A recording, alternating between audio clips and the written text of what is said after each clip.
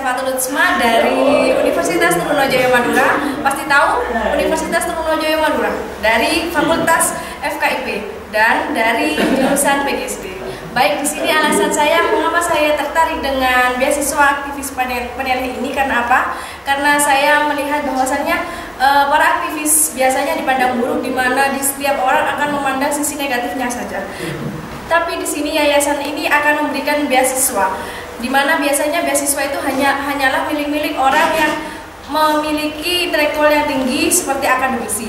Baik untuk kesan-kesan yang saya rasakan di selama empat hari ini sangat menyenangkan di mana saya memiliki banyak teman-teman di sini dan saya memiliki berbagai pengetahuan dari politik, ilmu hukum, ilmu sosial maupun ilmu ekonomi di mana yang tidak tidak bisa saya dapatkan di fakultas saya. Terima kasih. Wassalamualaikum warahmatullahi wabarakatuh.